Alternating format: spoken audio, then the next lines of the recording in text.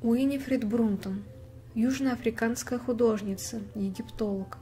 Родилась 6 мая 1880 года в ЮАР. Ее отец, Чарльз Ньюберри, работал в Кимберли. Мать Элизабет была дочерью миссионера Моша Шаперова, увлекалась искусством. Уинифред была представлена при дворе в Лондоне в 1898 году, когда предположительно встретила Гая Брунтона, египтолога, который позже стал ее мужем. Они построили дом в Берия, Йоханнесбург, ЮАР, в 1906 году. В том же году, 28 апреля, они поженились. Вместе учились в университетском колледже Лондона. За это время она написала портрет Флиндерса Петри в 1911 году, который сейчас находится в музее.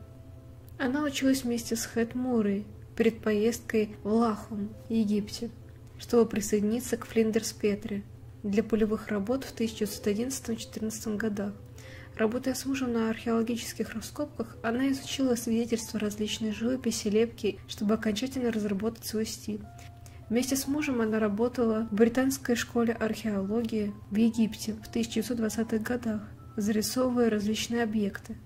Уинифред была влиятельной женщиной в мире археологии и отобразила лица фараонов и цариц в популярной культуре, которые позднее были экранизированы. Скончалась 29 января 1959 года в возрасте 78 лет в Клокалане, ЮАР.